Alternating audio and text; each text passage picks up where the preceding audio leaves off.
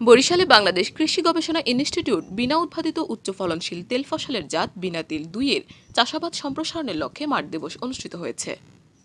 মঙ্গলবার বিশে জুন সকাল দশটায় জেলার রহমতপুর বিনা উপকেন্দ্রে এই মাঠ দিবসের অনুষ্ঠানে বিভিন্ন উপজেলার সত্তর জন কৃষক অংশগ্রহণ করেন।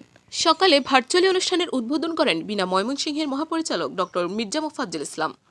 রহমতপুর বিনা উপকেন্দ্রের ভারপ্রাপ্ত কর্মকর্তা ডক্টর সয়মা খাতুনের সভাপতিত্বে মাঠ দিবসের অনুষ্ঠানে ভার্চুয়ালি বিশেষ অতিথি ছিলেন বিনা ময়মনসিংহের পরিচালক গবেষণা ডক্টর মোহাম্মদ আব্দুল মালিক, প্রকল্প পরিচালক ও বিনা ময়মনসিংহের প্রধান বৈজ্ঞানিক কর্মকর্তা ডক্টর মোহাম্মদ রফিকুল ইসলাম এবং বিনা ময়মনসিংহের মুখ্য বৈজ্ঞানিক কর্মকর্তা ডক্টর মোহাম্মদ সিদ্দিকুর রহমান।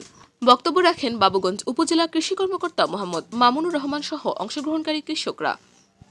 সভার সভাপতি ডক্টর সয়মা খাতুন জানান, দেশে ভোজ্য তেলের ঘাটতি পূরণের লক্ষ্যে বিনা উদ্ভাদিত উচ্চ ফলনশীল বিনা তেল দুই চাষের জন্য কৃষকদের উদ্বুদ্ধ করতে এই মাঠ দিবসের আয়োজন করা হয়েছে। সাধারণ তেল ফসল জলাবদ্ধতা সহ্য করতে পারে না। এর গড় ফলন হেক্টর প্রতি এক দশমিক তিন টন থেকে দেড় টন। বিনা উৎপাদিত বিনা তিল দুই কিছুটা পাঁচ দিন পর্যন্ত জলাবদ্ধতা সহ্য করতে পারে। নতুন জাতের বিনা তেল দুইয়ের হেক্টর প্রতি ফলন এক দশমিক আট টন থেকে দুই টন। ভোজ্য তেলের চাহিদা পূরণে নতুন জাতের বিনা তেল দুই চাষ সম্প্রসারণে কৃষকদের প্রতি আহ্বান জানানো হয় মাঠ দিবসের অনুষ্ঠানে। কিন্তু তেলের জন্য তেমন আবাদ হতো না। হতো না বললে ভুল হবে। হতো কিছু হতো, এখন কিন্তু অনেকটা আবার বেড়ে গেছে। চীনাবাদাম যেমন খুব বেশি বেড়ে গেছে। সরিষা, গত বছরে প্রচুর সরিষা হয়েছে বরিশাল অঞ্চলে।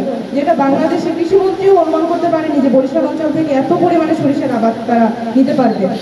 তো ঠিক একইভাবে তিন ফসলের উপরে, সয়াবিনের উপরে, সব তেল জাতীয় যে কোনো ফসলই কিন্তু বরিশালে অনেক বেড়ে গেছে। জাস্ট একটা ছোট এক্সাম্পলই দিই, আমরা কিন্তু আগে সয়াবিনের বীজ কিনতাম আমাদের উপকেন্দ্রের জন্য। তো নোয়াখালী থেকে বীজ কিনে নিয়ে আসতাম। নোয়াখালী সয়াবিনের জন্য অনেক উন্নত। সেই সয়াবিন কিন্তু এবার বরিশাল থেকেই কিনতে পেরেছি। দেড় টন বীজ কিনেছি বরিশাল অঞ্চল থেকে। তার মানে কি? বরিশাল কিন্তু এখন সয়াবিন, চীনাবাদাম, তিল, সরিষা, সবগুলোর জন্যই বেশ এগিয়ে গেছে।